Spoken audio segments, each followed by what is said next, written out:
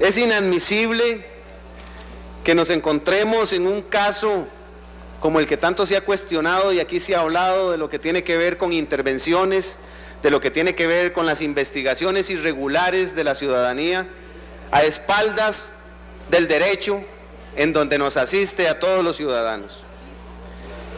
Es importante ver cómo en estos momentos hemos encontrado algo que nos ha llamado la atención, pero que también es parte de otras cosas que se han dado. Recordemos aquella investigación que se hizo a un periodista de la Extra, en donde hubo una intervención específica de parte del mismo Poder Judicial a través del OIJ, precisamente.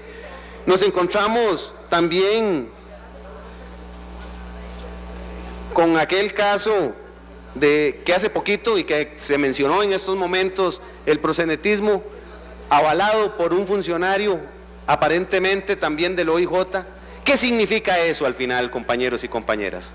Significa que entonces el jefe del OIJ no está teniendo conocimiento de qué es lo que hace su gente.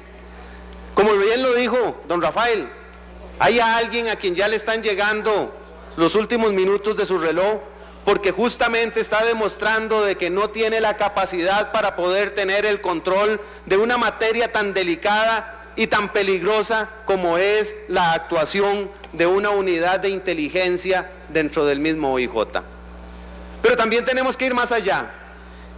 También en estos días hubo una suspensión para un funcionario perteneciente a otra de esas unidades denominada CERT, que es una unidad de choque en donde también nos debemos de cuestionar cuál es el planteamiento jurídico sobre el cual existe una unidad de choque en el OIJ y existe una unidad de inteligencia. Cuando se supone de que la actuación del OIJ es post-hecho, después de que las cosas se dieron.